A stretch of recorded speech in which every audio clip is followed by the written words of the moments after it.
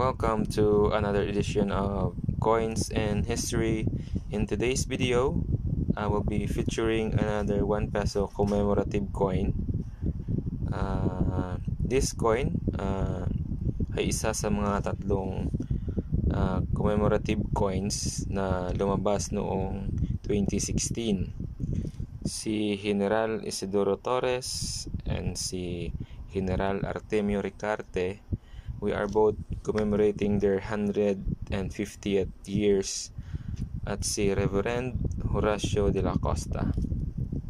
Uh, we are commemorating his 100 years.